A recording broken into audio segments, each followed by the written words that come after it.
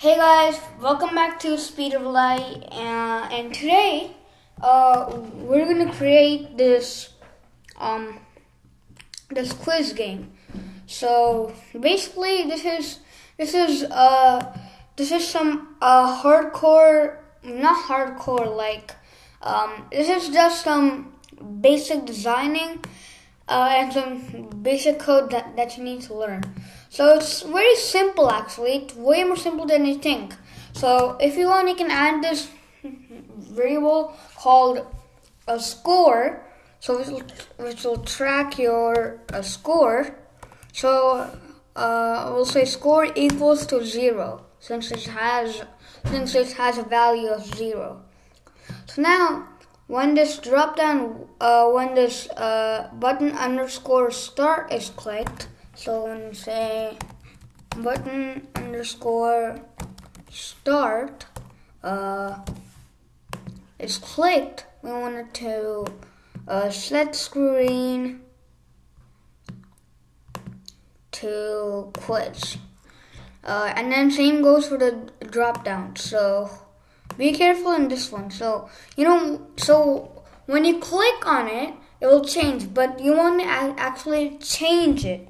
So if it changes, then you want it to, uh, what you call it, then you won't want it to uh, set the screen. So if you just click on it, there's no sense because you're not actually changing the drop down. So yeah, uh, so watch that. But anyway, we'll say drop down uh, one.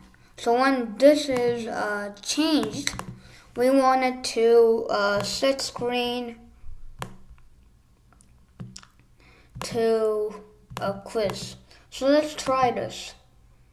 So first we'll press run and then there's options. So press quiz and reset and then run again. Press start. Okay, so now that's good. Now the user in the, is in the uh, quiz screen. So what does the user want to do? Well, first of all, uh, well not. So basically, so let me show you this first. So you can see that the this button underscore next one kind of looks odd. Well, the reason why is that I hid the element. So what what what, what do I mean by that? Well, there's a specific function. So if you hide the element of a of a button, radio button, image, etc. If you hide an element of that, then what the thing is that um, it, it will disappear until you give an event to something that makes it reappear. So yeah, uh, I hid the element because the user at least has to uh, choose one radio button, right? So that's why I hid the element. So the user is fo- forced to uh, actually uh, choose one. Unlike uh, uh, unlike if you don't hide the element, they'll just press next. They don't have an answer. So that's not what that's not what we want to do. So again, this is a would you rather question. So if you really think about it, these type of questions don't really have any. Um, th- these questions don't have any uh, type of. Uh, they don't. They, they don't have uh, any type of answer.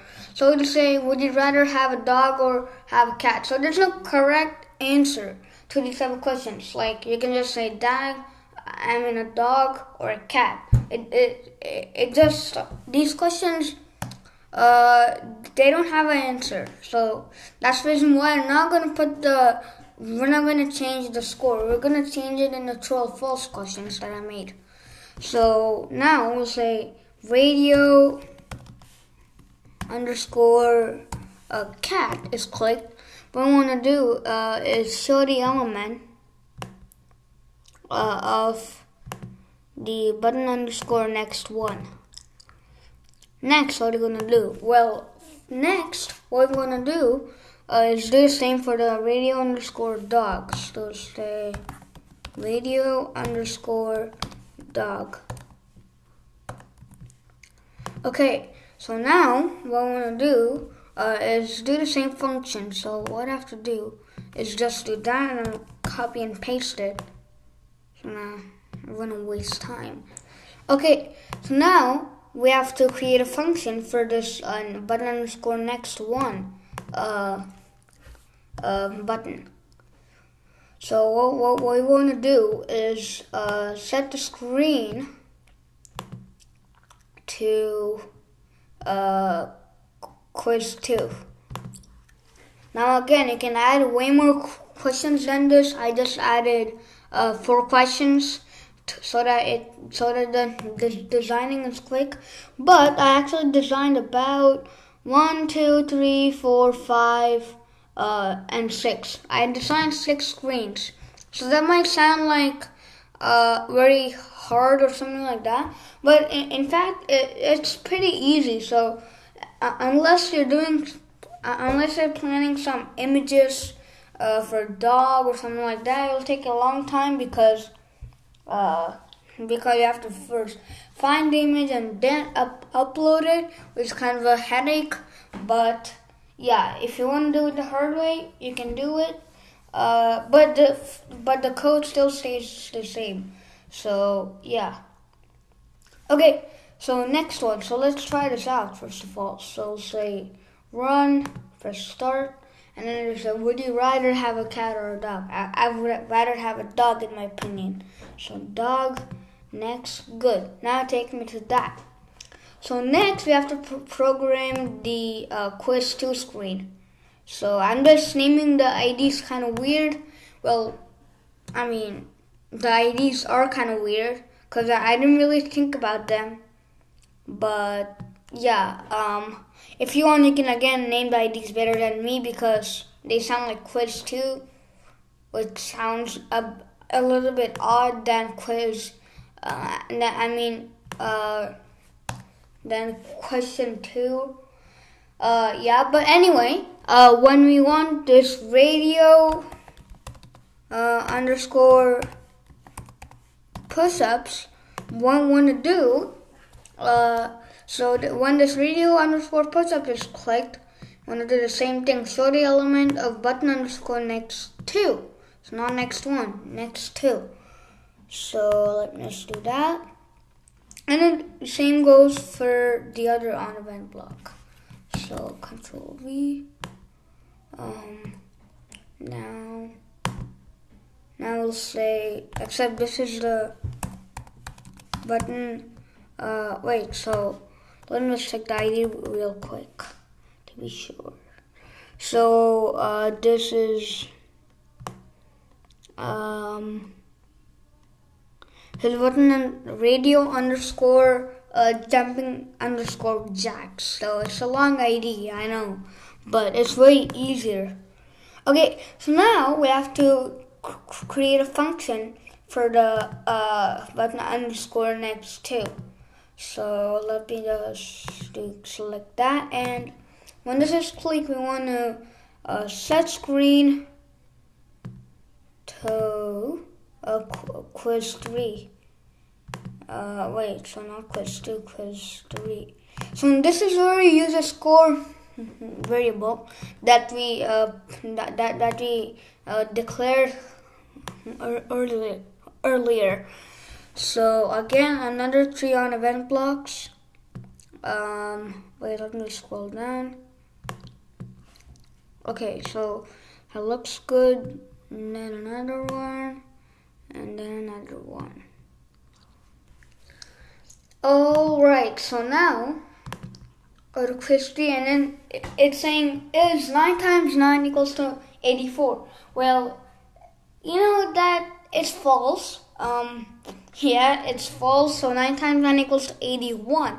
But this is a question, so it's a true or false. So uh, when this button underscore true is clicked, so button underscore uh, true is clicked. What I want to do uh, is show the element of button underscore next three, so which is right over here. So show element of button underscore next three. So now scroll down. Wait. Um. Okay, now scroll down and then say button underscore. Uh, let's say uh, false. So now what we want to do uh, is go to variables and then go up here. Oh yeah, and make sure to do this too. We'll say score. Uh, so when button underscore clicked, we're gonna say the same value. So we're gonna assign the score variable to, to the same value as it was before. So this may sound unneeded, but you have to do this since you're updating the score variable every single time so that it's way more efficient. So say so, but when false is clicked, we'll say score uh, plus one. Uh, and then we also want to show the element uh, of. We also want to uh, show the element of button score next three. So let me copy and paste that. Check And yep. So now next uh, we have to uh, create a function for the button underscore next three. So let me do that. And then when this clicked, we wanted to set screen so we're almost done. So say set screen to uh, quiz 4, which is the last screen for the quiz. Let's go to quiz score.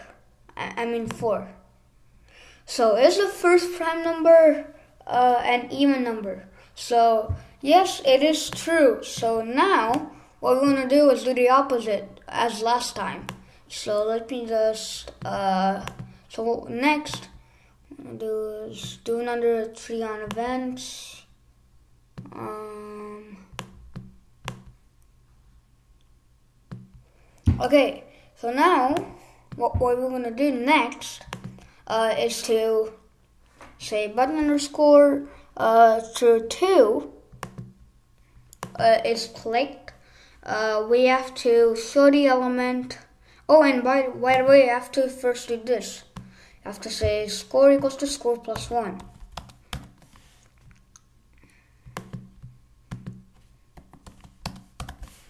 Score plus 1. Okay, um, so now we'll say um, show the element, want say show the element of the button underscore next 4. Um, is that correct? Yeah. So now um,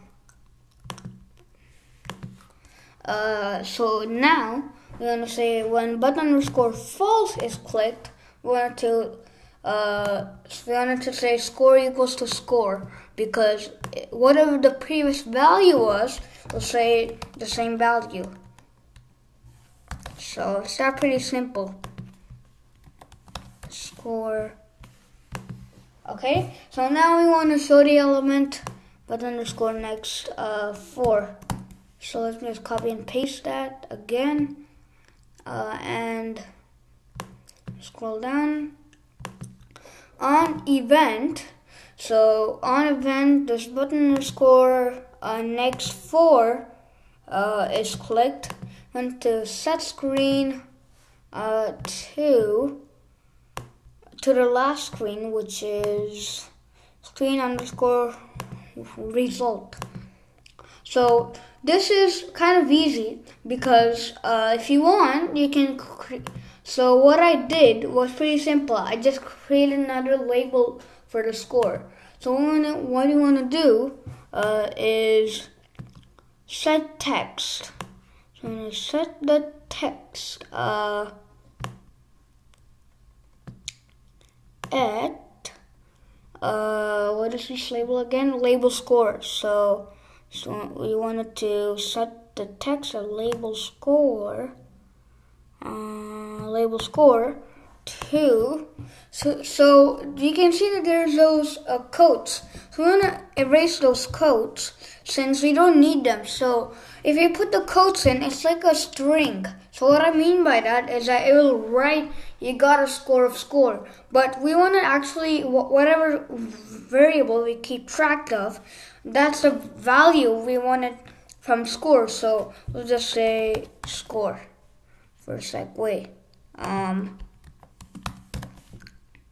sorry. Um, score. Now let's try it. So now that the complete coding is oh, uh, wait, there's something wrong here. Uh, line 17. Okay, what's wrong with that? Video underscore push-ups. Wait, let me check. So if I remember correctly, that was on quiz three. Wait, quiz two. So radio. Oh, okay. Wait, wait. It's the wrong ID. So radio underscore push. Uh.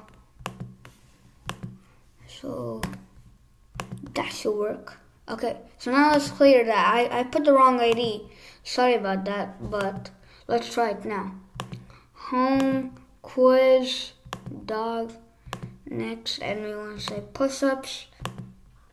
Uh, it's so this is where so let's say so we all know that nine times nine equals to eighty-one. So what what is we'll say false? We get one point. Now say is the first prime number and even number? That's true. So what if you press next? You got a score of two. So that's good. Uh, it shows the actual uh, it shows actual number, which is amazing.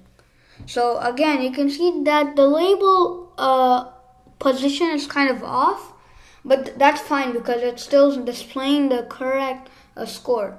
So uh, I really hope you enjoyed this video, uh, and this is pretty easy to understand. I just made this, so this so this is suitable for beginner uh, coding but the de- designing is kind of a, uh, kind of a hard thing to recommend to a beginner because the designing uh, of a so if if a beginner designs this app, I don't think it will be that good.